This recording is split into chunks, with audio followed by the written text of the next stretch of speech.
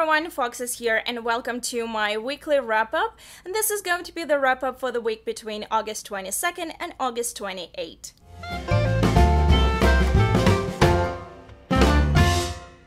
I know that I'm quite late with my review for that week. Unfortunately, I've been super busy getting ready for my trip. However, I read quite good books that week and I cannot wait to tell you. During that week, I managed to read one novel, complete one audiobook, and read four graphic novels. So let's get started with graphic novels. The first two graphic novels that I read were issue number 1 and 2 of Merry Men by Robert Rodi. This is a very interesting take on Robin Hood and Merry Men, who turned out to be all queer, and the story kind of progresses from there. Um, I read only two issues, and there are only two issues out so far. The third one is coming out later in September. However, I cannot really tell you much in terms of the plot because the plot really revolves about everyone um, around everyone being gay or queer or transgender. There is a lot of diversity in this story, but at the same time, we do have the same characters that we have in the original Robin Hood story, which is quite interesting. I cannot say that I loved it, but I really, really, really enjoyed it. It's quite my thing to have this sort of queer retelling, and this um, two issues I gave. Uh, 3.5, 3.75 stars, almost 4 stars, and Goodreads. I did enjoy them. I liked the art as well. Um, I can, like I said, I cannot really comment on the plot line just for one thing, there are spoilers, and secondly, it's just issue number one and two, so the story has not progressed much. However, I did enjoy it, and if it is your thing and you do like queer retellings, please check this one out. I actually never heard about the series before until someone mentioned it on Twitter and asked for recommendations, and someone recommended me this series, and I was like, yeah, I'm going to read that. So, yeah, then I read issue number one of the Shadow Hero, The Green Turtle Chronicles by Gene Luen Yang, and I was a bit disappointed to be honest because this is one of those graphic novels that keeps appearing on my Goodreads recommendations, and unfortunately, it did not live up to my expectations. I expected it to be something of a blend of a Chinese mythology plus a plus a superhero, which is in a way it is. However However, the story itself uh, starts with the backstory about the family of this guy, and this guy is not even in the picture in the sense that he's not really at the center of the story of the plot line. And then by the end of it, his mother just goes like, "Oh, you have to be a superhero," and um, that's about it. So I was left a bit disappointed. I cannot really say much about the art style. It was okay. I liked it, but the plot line was a bit meh. It was not really about what I expected it to be about. So I gave it about 3 stars. And the last graphic novel that I read that week was the Stratford Zoo Midnight Revue Presents Macbeth. That graphic novel was fantastic. First of all, it combines three things that I absolutely love. One, it's a book. Second, it has Shakespeare in it. And third, it has anthropomorphic animals, which means that this is a story about Stratford Zoo and we have animals there who stage Shakespeare at night. What? It's just phenomenal. I loved it. It was hilarious. It was quite funny on all levels. First of all, there are animals who are avoiding, you know, zookeepers who are trying to stage Shakespeare. At the same time, there is audience which is watching that Shakespeare on stage, and that audience is also consisting of zoo animals, and there are animals in there who make comments about the stage production and there is also some funny stuff which is happening on stage Jesus Christ, it was so good. It was just so funny. There are so many levels there. First of all, of course, we have a graphic novel itself about animals in the zoo. Then there is the second level where they are on stage, and there is also the audience, and there is sometimes breaking the fourth wall, and I just loved it. It is super colorful. The art is gorgeous. It's really funny. It's not offensive. They did modify Macbeth uh, to fit their purposes. It's just ah, it was so lovely, and apparently there is more. And I hope that there is will be like a whole series of those graphic novels because this one was fantastic, and I gave it five stars. The only audiobook that I listened to that week and finally finished was the audiobook that I had been listening for quite a few months, and I'm so glad that I'm done with it. And that was The Night Manager by John Le Carre. Even though this is a paperback that I have, and this is a TV show uh, tie-in paperback because as you can see there's Tom Hiddleston and Hugh Laurie and they're both are in BBC adaptation of the TV show which I have not watched yet because I wanted to read the book first and this is a basically a paperback but I did listen to the whole audiobook on Audible I did enjoy this book. However, I think I did myself a bit of a disservice because I was taking breaks from listening to this audiobook. And reason for that being because I don't really have that much free time during the week to listen to an audiobook and that was quite a long audiobook. I think it's about 17 or 19 hours long. Um, I mean, there are definitely longer audiobooks than that, but this one, considering how thin the the paperback itself is, it's about um, it's uh, 450 pages long. I expected the audiobook to be um, quite shorter, but the thing since I don't have much time to listen to an audiobook during the week and I do not commute, I don't drive, and that's why when I'm actually at home and I have free time to listen to an audiobook, I'd rather li- actually read a physical copy.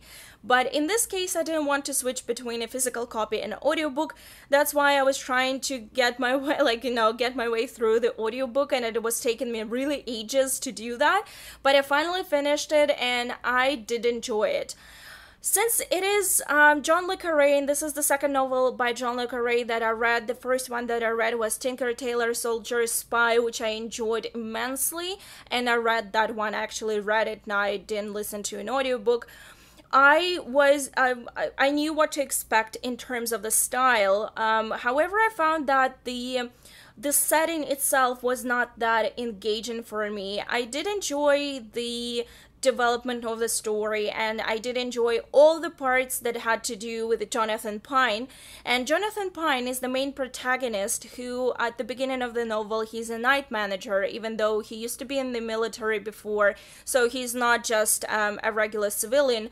However when there is an opportunity to pass on some secret information um, a woman gets killed and he feels that he's responsible so he sets on to find the person who is responsible for her death. Um, this is um, not exactly the summary that you will get here. However, Jonathan gets himself really um, entangled into a lot of political intrigue and a, a very big operation going on. Essentially, essentially, there is a man who is really powerful. He um, trades uh, drugs and um, guns and all of that stuff and there are several governments which are trying to pin him down and catch him so Jonathan has to go undercover essentially, but his own objective here is that he wants to find the person, and supposedly that per- that is the same person who was responsible for the death of that woman. I liked the writing style and I did enjoy the narrator of the audiobook.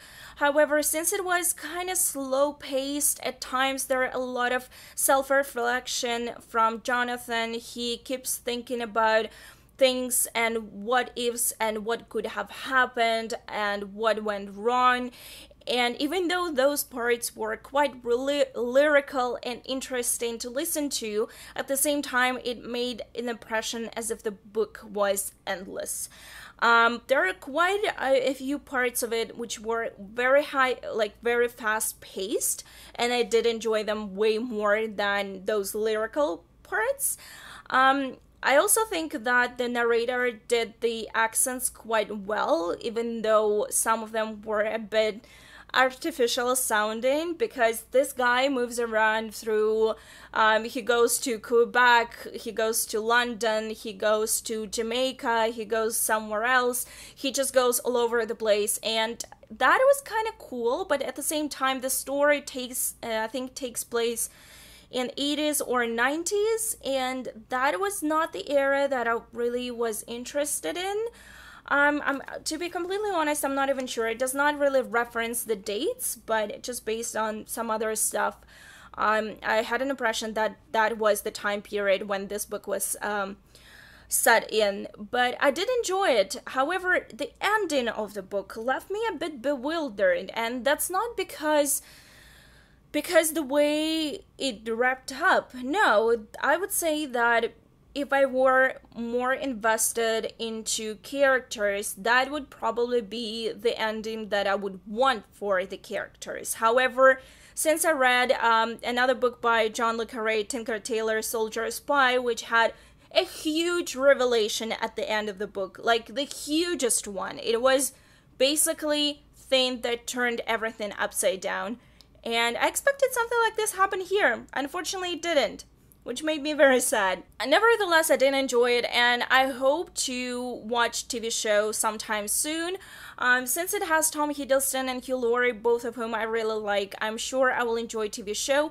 I also think that TV show will make the storyline a bit more fast-paced and would be quite interesting to watch visually since there is a lot of traveling involved and moving around. So I'm looking forward to, to watching the TV show. But as far as the audiobook goes, I gave the narrator about 3.5 stars and the plot itself 3 stars. And the last but definitely not least, the book that I read that week was Trial by Fire by Josephine Angelini. And this is a YA fantasy novel, the first book in the trilogy, I believe. Yes, the, it is in trilogy. And I did enjoy it. You know what? I picked this book up from Book Outlet a couple of months ago just on a whim. I didn't know anything about it. I just liked the cover. And let's be honest, this cover is gorgeous. I really like the. Um, intricate, you know, symbols here, and y- you basically get to know what it means once you read the book. I knew nothing about the book when I picked it up, and when I read at the top that it had a must read romance, that made me kind of skeptical. Let's be honest, whenever the book is positioned itself as a romance, while it is actually a fantasy book, I kind of get, you know, really suspicious of it because I'm not a huge fan of YA um, romance, I'm not a huge fan of contemporary romance. And in this case, I was just looking for some simple read. I wanted to read YA fantasy. And you know what? This book really surprised me. I did enjoy it and I enjoyed it a lot. The main protagonist of this book is Lily, and she lives in a real world where she is allergic to everything. Her best friend Tristan always is very protective of her, but at the same time, he is kind of a playboy and she likes him, but she doesn't really like that side of him. So one day something happens between them and she thinks that they're dating. But then during a party, turns out that they're not. So after the party, she gets transported to a different world, and then weird stuff starts happening. I don't want to say much about it. Um, I just want to say that there are parallel worlds in this story, and everyone has some sort of doppelganger or um, a duplicate, a double of themselves. Um, in that new world that Lily finds herself in, she's actually a powerful witch. So this story involves magic and witches, and the magic system is very interesting, and the world itself is also very interesting. The originality of the plot and the originality of the magic system actually blew me away. I, it's been a while since I read something that original, and I did enjoy the story. Another thing that I really want to um, tell you guys is that even though here it says that it's like a sizzling romance, that's not exactly true, let's be honest, because the romance is there, but it's very slow paced. It's not something like an insta love, which I'm absolutely, like, I absolutely hate that. I hate that trope. It's not that bad here, let's be honest. It's, um, it's it's quite a good book and i'm not really sure why it's being marketed as a romance because it's actually a ya fantasy and it has a very strong female protagonist and a lot of quite cool guys in there uh, so yeah i read this book and while being somewhere um, in the middle of this book i just went to book outlet and purchased the second novel and then i went to amazon and pre-ordered the last installment in this trilogy that is coming out later in the month at the end of yeah at the end of September. So I'm quite in love with the series. I have not really heard anyone talk about the series. I'm quite curious. I feel as if this is quite an underappreciated book, and this book was really really pleasurable. I I I didn't even know what to say. The world building was good. The character development was good, and another thing that I enjoyed was that even villains supposedly were very cunning and could have crushed Lily immediately. At the same time, it didn't happen, and there was a very good explanation for that. So it's not just like there was limitless power or uh, there was um, limitless, uh, you know, influence or just the world was so well put together in that sense because there is always a limit there is always something else going on. Um there that it's just i i don't know i really enjoyed it. It's probably one of the very few ya fantasy books that really impressed me right off the bat. And i went expecting absolutely nothing. Like, honestly, absolutely nothing because nobody talks about these books, nobody holds them, and they are on Book Outlet, and I never hear anyone talk about them. So, if by any chance you read the story and you enjoyed these books as much as I did, please let me know down below. Obviously, no spoilers because I have not read second book yet, and the third one is not out yet. So, yeah, please let me know. And I mean, like, seriously, this cover is so gorgeous. I, I just love it. The only thing that disappoints me is that I couldn't find this book in a hardcover.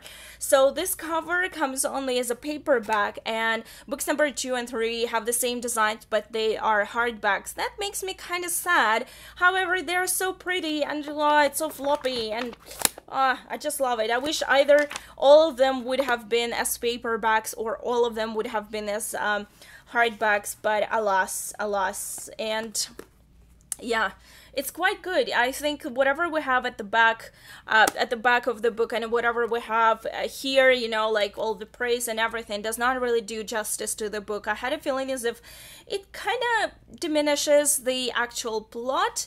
So um i hope i made some sense here.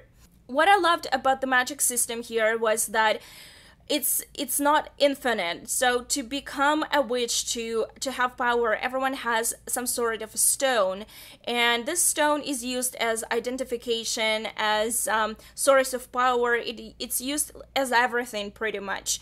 And to become a witch you have to have that certain power the certain level of power. But it's not just easy. It's it's not just by having the stone itself. You also need to know how to channel that energy. And everything is so peculiar in that world because that world is sort of a blend of a real world uh, like a techno world and also fantasy world and I I just really enjoyed this book. I'm I'm still very surprised about how much I enjoyed it. So I gave this book 4 stars. It was not without flaws obviously, but I think it's a very solid start for the trilogy and I cannot wait to read book number 2 this is it guys. This is my wrap up for the week between august 22nd and august 28th thank you so much for watching and i'm sorry once again that i'm so late with this review but i hope you enjoyed it. Please let me know down in the comments if you read any of the books that i mentioned or if any of these sound appealing to you. Thank you so much for watching and i'll see you very soon. Bye